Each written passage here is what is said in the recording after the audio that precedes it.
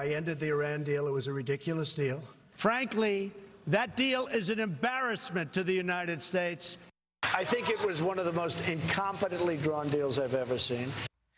President Trump has been slamming the Iran nuclear deal since before his election, and now Iran is uh, proving him right. Yeah, the country is upping the ante and admitting to exceeding the cap on uranium enrichment drawn out in that deal. All right, so at this point, where are the other world leaders who insisted on keeping this deal intact? That's the question this morning. Vice President and Foreign Policy for Foreign Policy at the Heritage Foundation, James Carafano, joins us now to weigh in.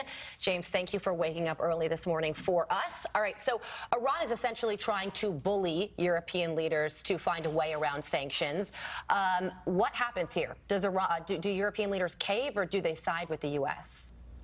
Well, first of all, I think it's increasingly likely that more Europeans will side with the U.S. I think Britain in particular, I think when they get a new conservative government, I think that government will just cleanly break with the Europeans and line up with the United States. That puts the others in a very difficult position on the one hand. And on the other hand, I mean, the, the Iranians have given them kind of a, a, a Hobson's choice because if they want to preserve the deal at all, ironically, they're going to have to sanction the Iranians for exceeding and violating the deal or go to arbitration, all of which would just put more pressure and isolate the Iranians. Yeah. But, but is it even a deal anymore? I mean, that's the, the question is no. for people, yeah, I mean, yeah. once the United States pulled out, why would Iran listen to anything the deal said anyways? Well, I, you know, I think the real news story that, that people have kind of missed, if you read the, the JCPOA, Iran's first statement is we had no interest in any kind of nuclear weapons program. Hmm. Ex uh, exceeding the exceeding the exceeding the enrichment clearly demonstrate that has nothing to do with a civil nuclear program. There's no reason in a civil nuclear program to advance their enrichment. So it just clearly demonstrates that they lied when they signed the agreement to begin with. Well, so well, they, the well, deal Iran does say to push back a little bit. They say they're only going to enrich to five percent so that they can have a nuclear reactor and fuel it, and you got to get to 90 percent to have a bomb, right?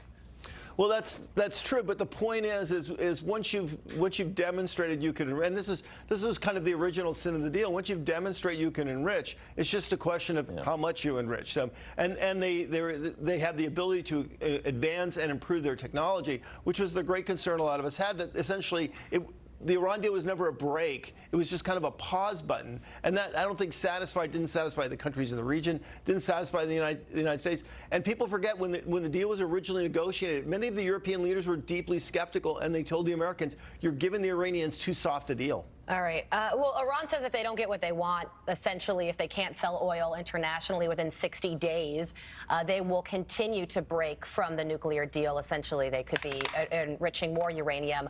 Uh, what happens then? Do we get to that 60 day mark, or will something happen before then? Um, you know, we might well get to that 60-day mark. I think, I think we make a mistake when we design our strategy for dealing with Iran predicated on knowing exactly what the Iranians are up to. Uh, you know, one one argument is is look, they're just getting ready for the next round of negotiation by improving their position by being more nuclear threatening, so they have a, a stronger bargaining chip the next time around. Um, or they could just hope that maybe they, they fluster people enough that maybe Trump will get reelected and the next person will come in and give them a good deal. Does it, I mean, does it show you? I mean, the fact that they love the JCPO, uh, JCPOA, the deal so much that they want it back so badly, does that indicate that this really was a bad deal on our side?